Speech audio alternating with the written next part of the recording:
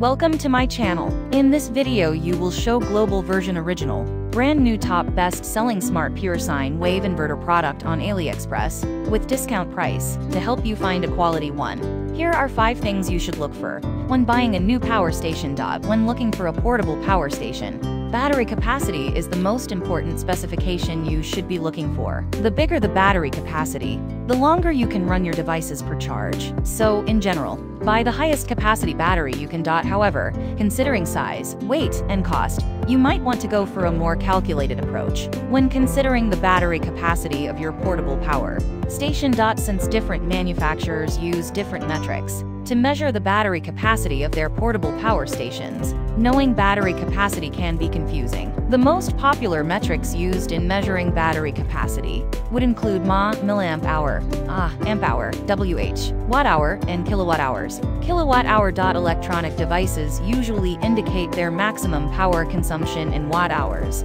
which you can find marked on various types of power supplies. If the power supply indicates its power rating in watts, remember that 1 watt is equal to 1 watt hour. To better understand how long a portable power station can power your device, you first need to know its battery capacity in watt hours. To do that, you can check its watt hour rating, but if it only indicates battery capacity in mAh, milliamp hours, or uh, amp hours, you can take those numbers, plus its rated system voltage, 12V or 24V, and look up its watt-hour rating, using this graph below so, let's say your laptop is rated to operate at a maximum of 90W or 90WH, and the portable power station has a battery of capacity of 40,000 mAh on a 12-volt system. Using the table above, you'll see that the power station has a battery capacity of 480 WH. If you divide that by the 90 WH that the laptop uses, you can expect around 5 hours of runtime, without accounting for power loss and other variables. Another important thing you should be looking for in a portable power station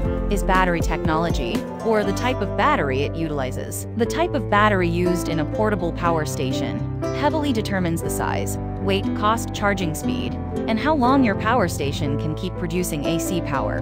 Before cutting off, lithium-ion batteries charge three times faster than lead-acid batteries and are the most energy dense out of the three. On the other hand, lithium polymer batteries are less energy dense than Li-ion batteries, but have fast charging capabilities, and are generally safer to use than Li-ion and lead-acid station to use during emergencies. And a lead-acid power station should suffice. Depending on the device you're trying to power, having the right inverter in your portable power station can save your delicate devices from damage and make them work as efficiently as possible. Saving battery charge. Power inverters are electrical components that convert your battery's direct current, DC, to alternating current, AC. DC is used to charge your battery-powered handheld devices, such as your phone, tablet, and Bluetooth earbuds, while AC is used to power more power-hungry devices, such as your laptop, computer, TV, and gaming consoles. Disclaimer, these choices may be out of date. All of these products may not be in stores. We don't know when if this will be back in stock. You need to go to Top 5 All Best Pure Sine Wave Inverter 2023 review link to see the most recent updates to the list. Thank you for watching. Please subscribe this channel.